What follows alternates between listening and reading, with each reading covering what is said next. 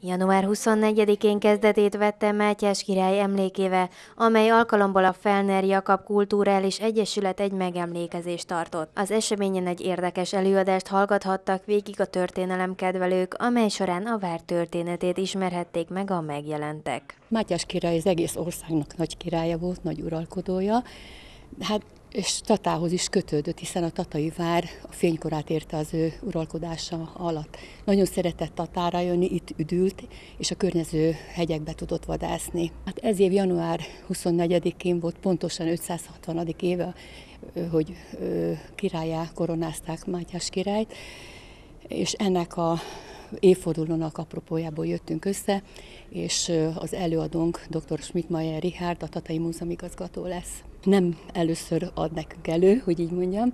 Évek óta együtt dolgozunk, kiváló régész, középkoros régész történész, és tavaly is az korábbi években is tartott nekünk különböző korokról előadásokat. Tavaly megemlékeztünk Mária Teréziáról, a kiegyezés koráról, a tavaly előtt Széchenyiről is kiváló előadást tartott nekünk Richard.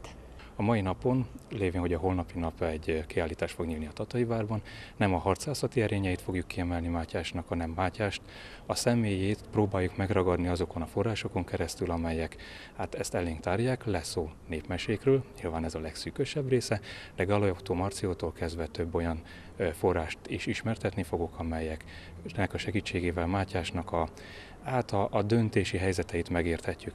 Természetesen lesz egy kis történelem is, hiszen a Mátyás emlékév nem Mátyás koronázásának emlékévfordulója, hanem trónra kerülésének miért történt az, hogy 58-ban trónra lépett, és csak 64-ben tudták megkoronázni, illetve részben a meséken keresztül, Galeotto Marcio pompás történeteit bevonva néhány olyan műtárgyra is felhívjuk a figyelmet, amely a Tatai Múzeumban vagy éppen nem látható a kiállításban, vagy a kiállításban megtekinthető.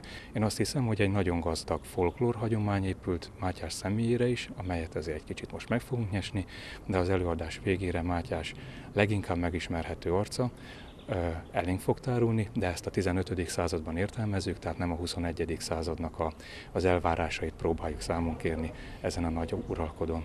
A Felner Jakab Kulturális Egyesület következő megemlékezése június 14-én lesz, ahol Erkel Ferenc halálának 120. évfordulója alkalmából előadást és zenei bemutatót is hallhatnak az érdeklődők.